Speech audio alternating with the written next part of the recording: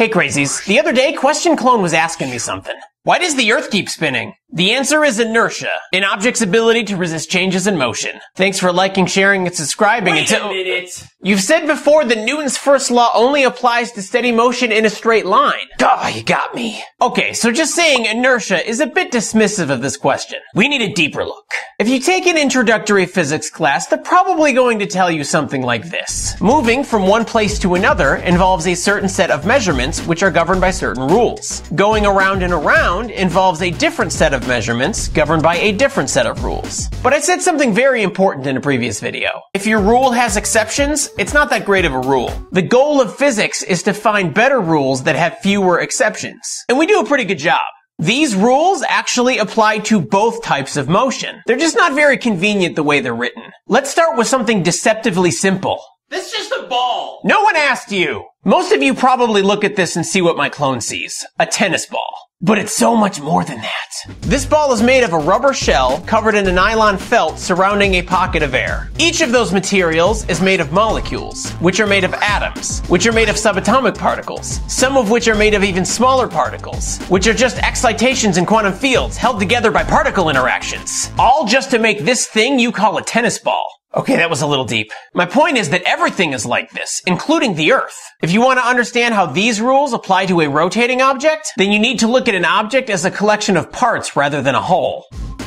The Earth has several layers made up of a bunch of different substances. And because of inertia, all the little parts are trying to move in straight lines. If they were allowed to, the Earth would do this. We know it isn't though, so there must be something else going on. Newton's first law says that anything will move at a steady speed in a straight line until there's a total or unbalanced force from the outside. If the parts of the Earth aren't doing this, there must be a force preventing it. That's where Newton's second law tells us that unbalanced force is causing an acceleration. Acceleration, but its speed is steady, one rotation every 24 hours. Ah, but acceleration isn't just about change in speed. Acceleration is a change in velocity, which involves direction too. A car accelerates forward because the force from the road is in the same direction as the motion of the car, increasing its speed. The force on a thrown ball is only partly in the direction of motion, which causes it to slow down and speed up, all the while changing its direction too.